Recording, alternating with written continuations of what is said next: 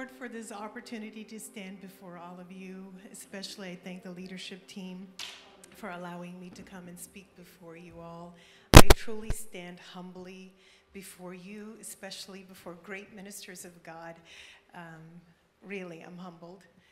It is such a blessing that we have committed 21 days of fasting and prayer. And this past week, we've had some amazing word. If some of you didn't get to hear due to work and other situations, I'm just going to briefly summarize uh, every day's word. I hope I do justice to the people who spoke. Uh, so, this past week, we heard about evaluating yourself uh, or ourselves and our faith and finding joy in our salvation. We heard the next day, searching our hearts evaluating where we are with the Lord.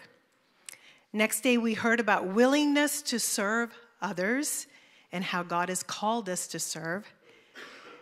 The next day, we heard reasons of why Christians fail in their life in comparison to the Philistines and how the Israelites were victorious in comparison to how we can be victorious in our Christian life. And yesterday, um, we heard that suffering is part of Christian life, and Jesus set an example of how suffering is for us. So, for our meditation today, if I can get the PowerPoint up, uh, let's open to Leviticus chapter 26, verse 2. So, this same verse in Leviticus chapter 26, verse 2, we see in Leviticus 19:30, okay? But I'm going to focus on Leviticus 26 and reading, Observe my Sabbaths and have reverence for my sanctuary. I am the Lord. We will be focusing on the latter part where it says, Reverence for my sanctuary. Today in society, we see a total disregard for God, a disrespect for God, which is totally heartbreaking for us. Everyone feels like, not everyone, but a lot of people in society feel like they have the right to speak their opinion. Uh, my opinion matters, and I have the right to express that, regardless of the situation or what other people think, right?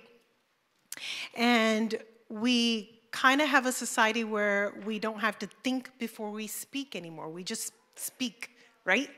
And uh, this type of process is unfortunately seeping into the church. This casual, my opinion matters, uh, total disregard. I'm not saying in this church, I'm saying the church at large. We have a, a casual way of how we approach God. Um, and so I just want to focus on that latter part where it says reverence for my sanctuary. But, but before we get started, there is the end of that verse. What does it say? I am the Lord. And do you know, I didn't count this, but I looked it up. Thank goodness for Google. I looked it up and it says, an average about 40 to 45 times in the book of Leviticus, it says, I am the Lord, or I am the Lord your God. And I'm thinking to myself, wouldn't like one time or two time be sufficient in the Lord saying, I am the Lord? We get the point, right? Like just in the book of Leviticus, I'm not talking the entire Bible, I'm just saying in the book of Leviticus itself, it says, I am the Lord over 40, 45 times. Why is God repeating himself? First of all, we don't ever remember these things, and God has to repeat itself. History shows that, right? And parents, as parents, we tell our kids the same thing over and over, and it seems amnesia sets forth. And so I think it's just human nature. We forget, and the Lord is good about reminding right? And the Lord reveals his character as Yahweh the Lord. That's why he's saying it. He's saying, I am Yahweh the Lord. And because I am Yahweh the Lord, uh, the words I'm going to say to you has authority. It's giving authority behind his words, right? And how do we know that? If we look to the Exodus chapter 3 verse 15 what does that say? Exodus 3:15 it says, God also said to Moses, "Say to the Israelites, the Lord, the God of your fathers, the God of Abraham, the God of Isaac, and the God of Jacob has sent you. This is my name forever. This is my name forever, the name you shall call me.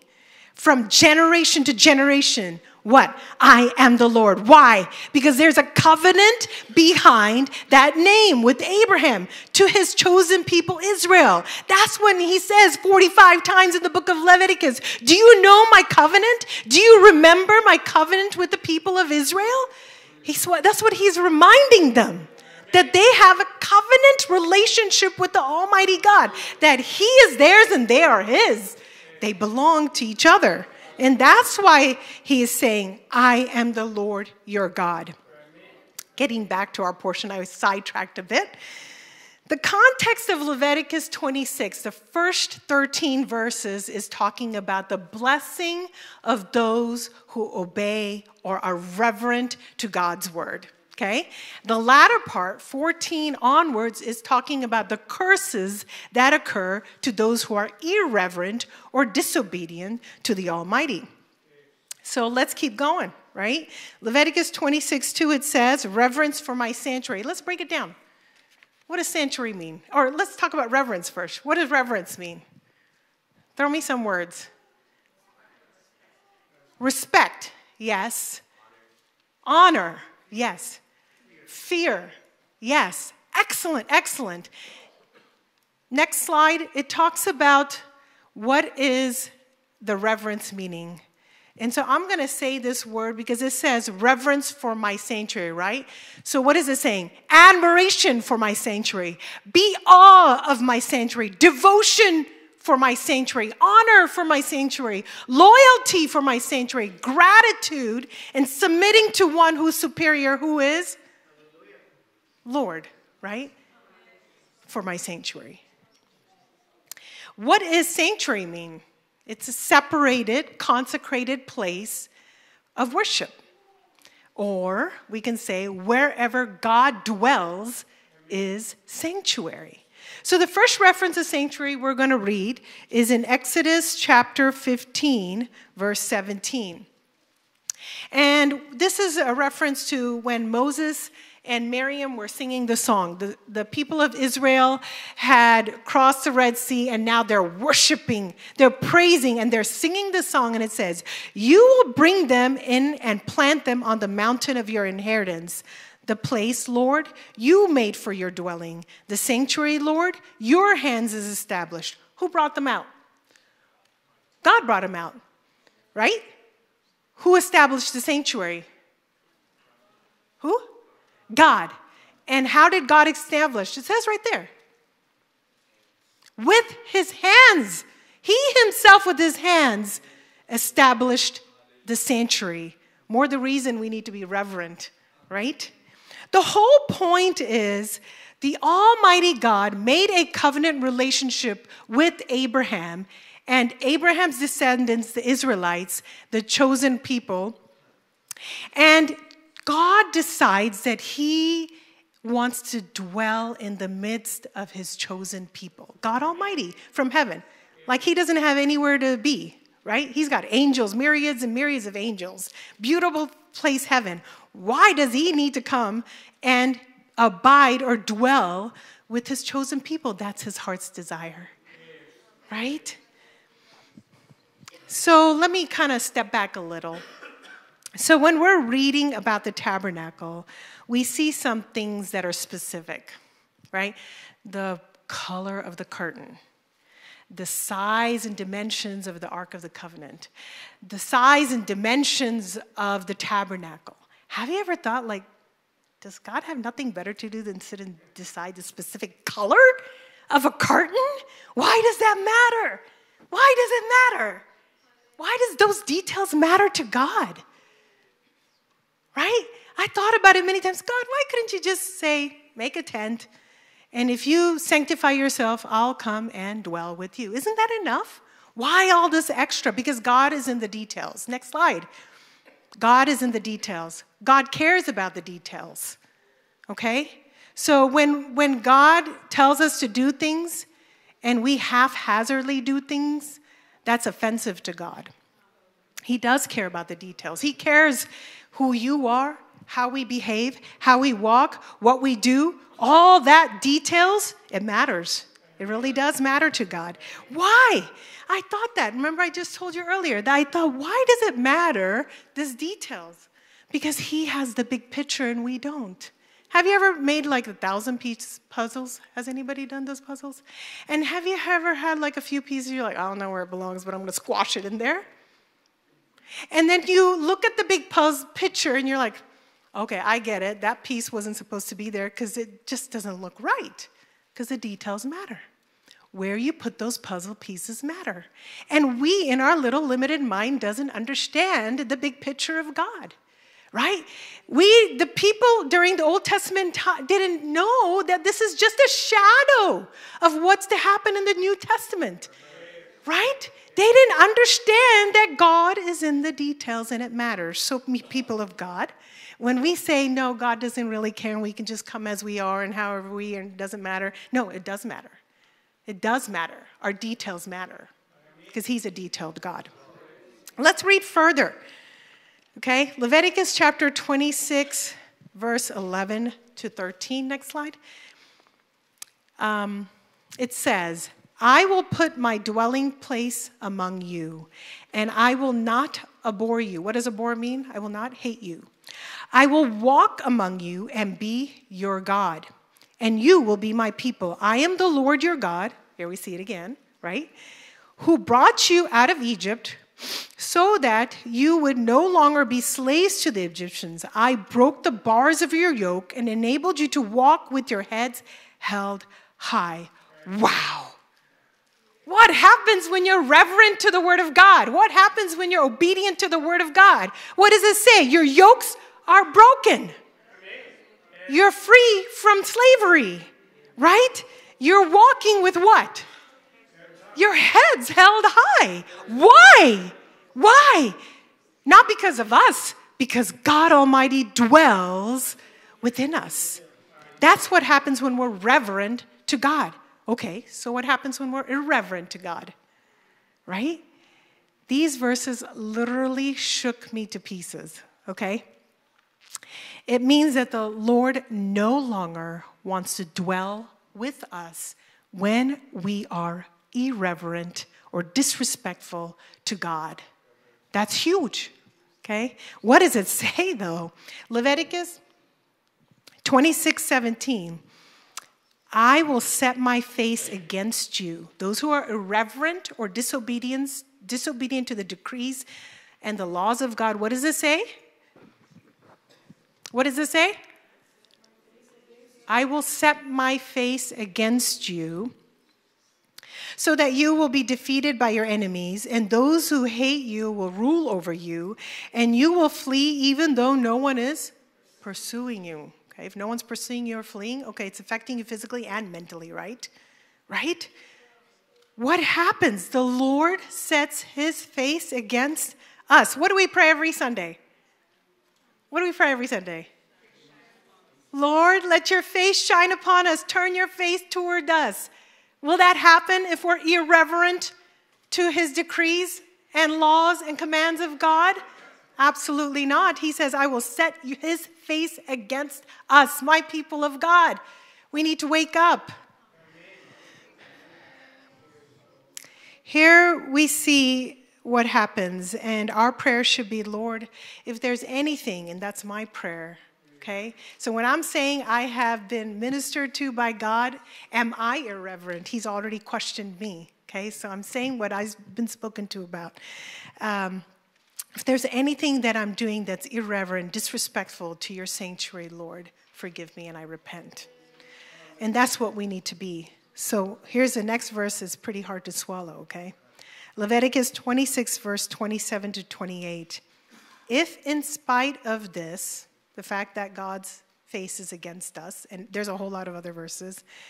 If in spite of this you still do not listen, but continue to be hostile toward me, who's hostile? We are hostile towards God. Who started it? We did. We caused the issue here, right?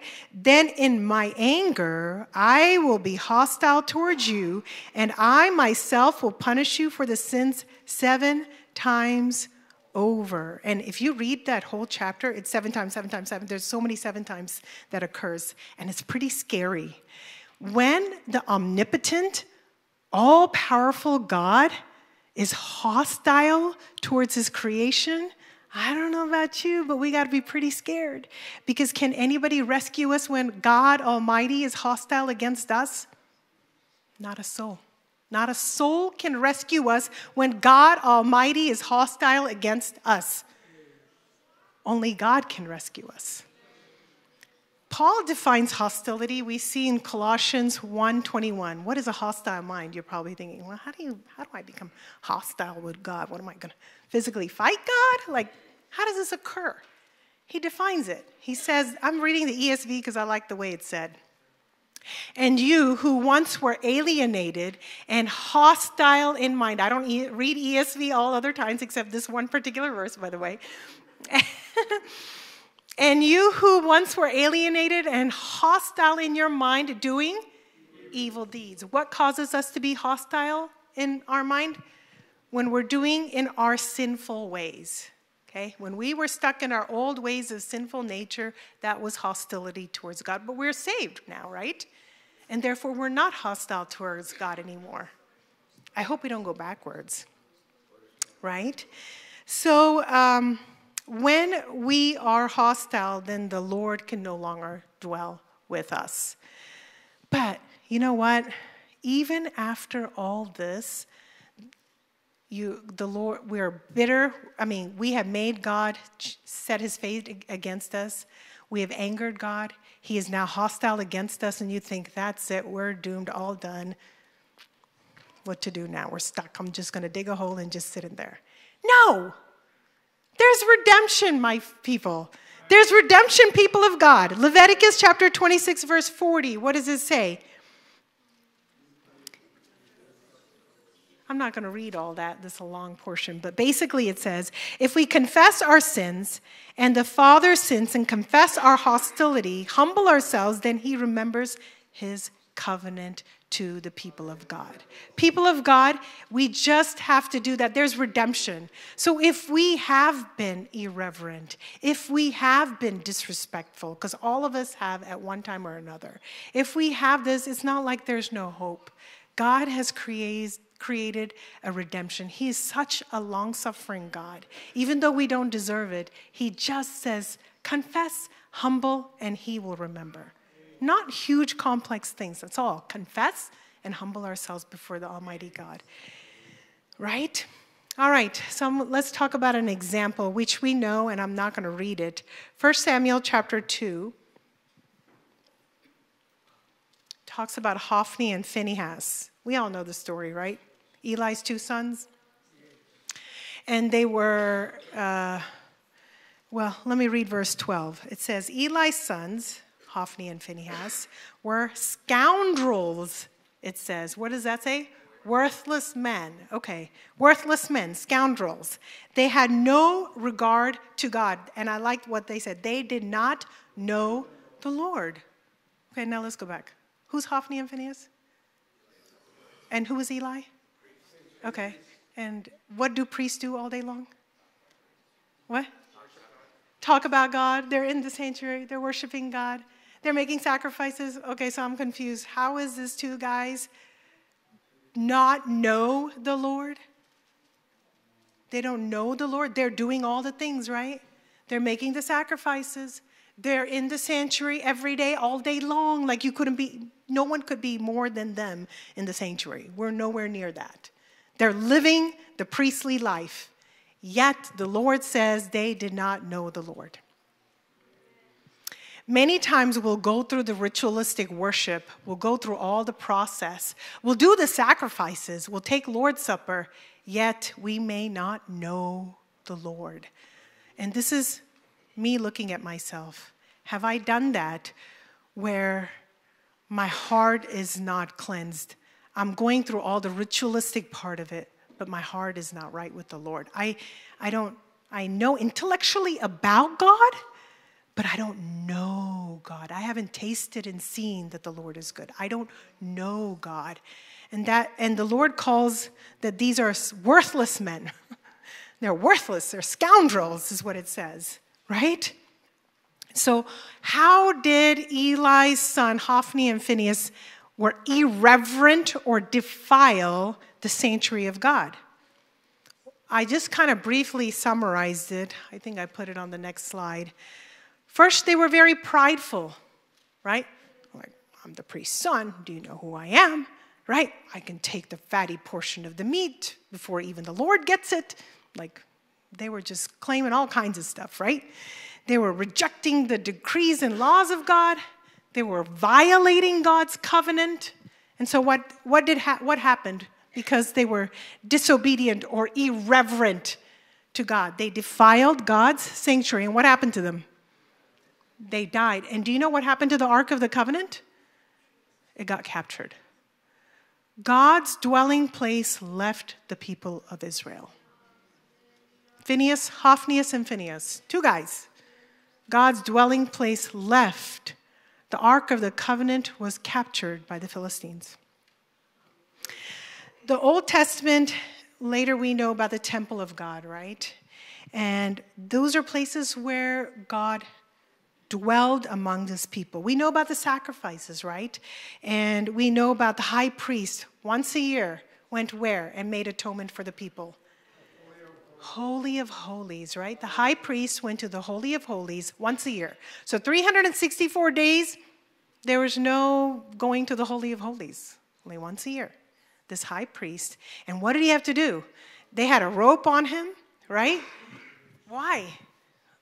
So, first he had to make the sacrifice and make sure that his sins were cleared. And then he goes in to make for the people's sins. And then only can he go past the veil and go to the, where the Ark of the Covenant is. And I'm telling you, he probably was scared because if he was irreverent and disrespectful in entering the most holy of holies, what would happen to him? He would die. And nobody could go get him. They'd have to pull him out with the rope.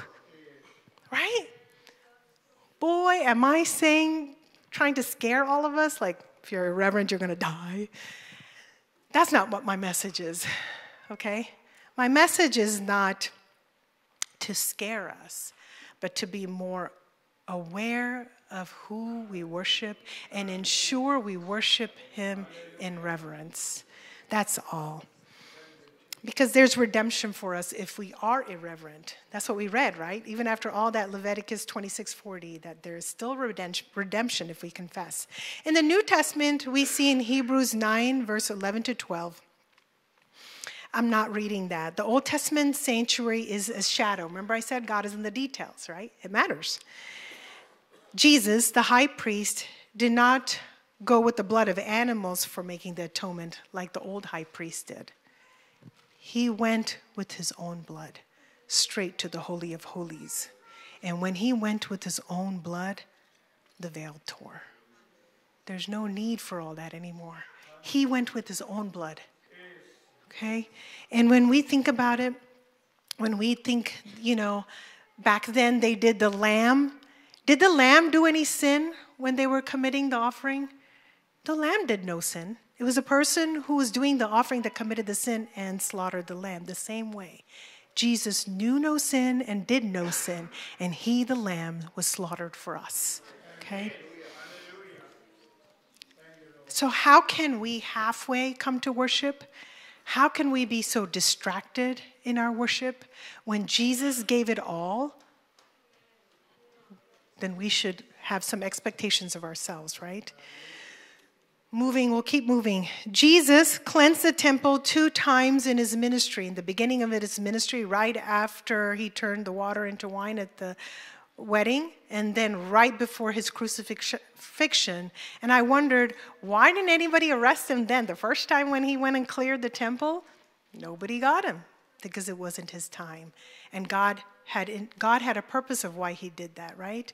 And then the second time also, he went and did it. And because Jesus said, My house shall be called the house of prayer, but you have made it a den of thieves. I hope I'm not being too hard because I told you this is something the Lord has spoke to me. And I'm not accusing anybody or saying anything because our church is a very good church and Steffi did an amazing job of talking about how important it is to have Jesus as, as part of center of our life and that we worship him Um, but just reminding us of, of how we should worship Him, especially on this 21 day. Jesus was expressing when he cleared the temple two times the great truth we must have reverence for God's house. Jesus taught that the temple's house is a house of prayer, and absolutely nothing else should happen in the house of the Lord. Many times we hear people approach Jesus as my buddy. He's my buddy, the man upstairs, um, the man in the sky, all kinds of irreverent way of uh, addressing God. And we need to understand who our God is that He's a holy God, He's a creator from, from the beginning of time. He started the time till before, even after we go, He's still God right? And how did Lord set it, Jesus set an example for us and how do we approach God? He said, Our Father who art in heaven, hallowed be your name. He taught us how we should approach the holy God. Jesus himself prayed, Our Father who art in heaven, hallowed be your name. Our sanctuaries today are different from the time of old because since Jesus' resurrection, who where is the sanctuary now? We're the sanctuary. We're the temple of the living God, right? And we're the body of Christ as a church, and Jesus is the head, and Holy Spirit dwells within us, and we are his sanctuary. Therefore, we have to be reverent with what we do with this temple of the living God. We have to be holy in how we live, behave, talk, think, everything and we need to reevaluate daily and always are we irreverent to this temple where the Holy Spirit abides? But may, I don't want to just say, okay, be reverent in how we behave here, but also we have to be reverent when we come to places of worship. Um, so I looked up this crazy thing. Um, so, how to go to the White House. Okay, so I looked up Okay, how, how, if I wanted to go visit the White House, what is it that I needed to do? It's pretty intense. I can't even visit the president. What I'm getting ready to discuss is just to do a self guided tour is the guidelines. Just for a self, I'm not even meeting the president, mind you. I have, to, I have to get a representative of the Congress to give me permission to get a self guided tour of the White House. But before the self guided tour, they have some stipulations. I'm going to use that as our guide. Next slide. So before it says, and I copied this from the White House. So before we go take a tour of the White House, we have to do the following, okay? We have to have identification, okay? You can't just go like, I am Febi and just get in there. No, I have to have a legal identification. We have to have identification. Who are we? We're sealed by the Holy Spirit. Before we approach, we have to confess our sins, apply the blood of Jesus, and sanctify ourselves before we approach the Holy God. This is just for a tour. And we're talking about the creator of heaven and earth and how we approach him, right? There needs to be a preparation before we approach God, preparation in ourselves too, always. There's a dress code, but it's based on the event, right? There is a dress code. When attending a church service, know where we're going. How many of you wear a formal attire to a football game? Unless you're the homecoming queen or king, you're not going to be wearing a formal gown and high heels to a football game, right? You get the drift. So, there's a dress code based on where and what you're attending. Use godly wisdom in the matter. Next one. It says, Tours are self guided and last approximately 45 minutes, and it says arrive 15 minutes before schedule. 15 minutes before. um, I don't know about you, but I've been late to service. I've been late to my personal time prayer and late to church services, okay? So I'm guilty as charged, okay? And guess what? I'll miss the tour. If I went, if I go the way I'm going, I'm going to miss the tour. I traveled all the way to DC and I'm going to miss this darn tour. Okay?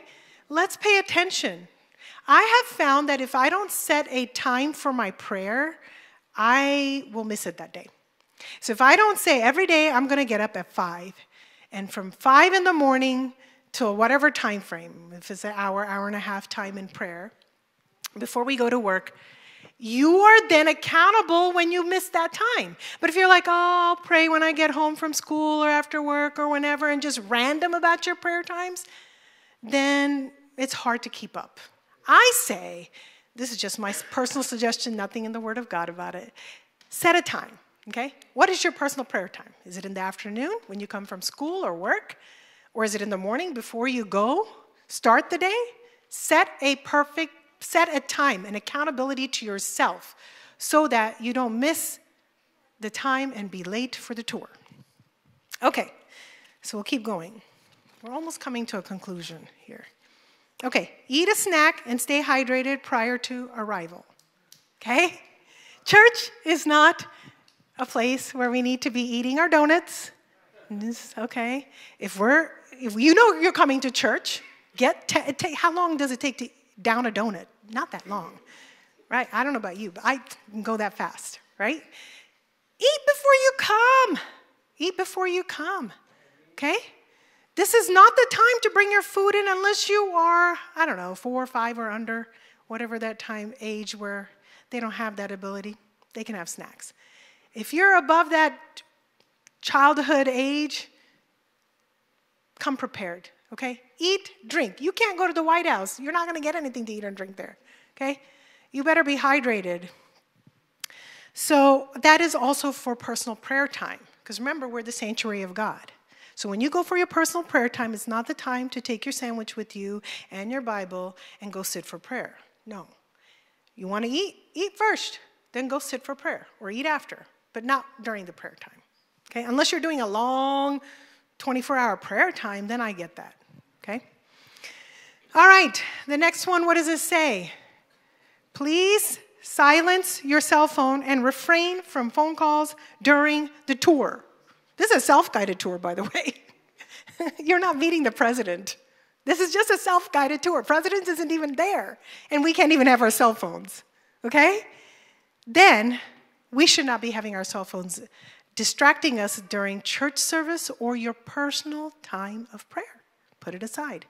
Unless, I get it, if you're in church, you have somebody who's sick at home and you left them alone and you need to look at your phone to make sure they're not calling you for an emergency or you're on call for work and you're coming to church and you know they're going to call you for work or something unusual like that okay? But to text if the sound is going up or down or rate or we need to do this or that or somebody's scarf is down or up we don't need to do all that during service right not only that, carrying side conversation in your prayer or during church service is very distracting personally and for others around you.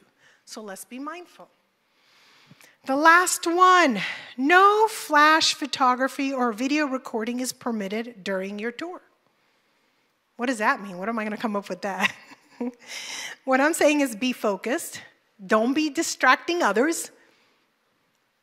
Okay? Just be focused in worship. Don't distract others with all our extra stuff that we may have. All right, in conclusion, the New Testament, we are the sanctuary of God, right? God dwells within us, the Holy Spirit. So know who we are and who we're approaching. We're approaching an almighty, omnipotent, omniscient God. So be submissive before his presence. And I end with, with this last verse, 1 Corinthians chapter 6, verse 19 to 20. Do you not know that your bodies are the temples of the Holy Spirit who is in you, whom you have received from God? You are not your own. You are bought at a price. Therefore, honor God with your bodies. Thank you so much for your this time. May God bless us all.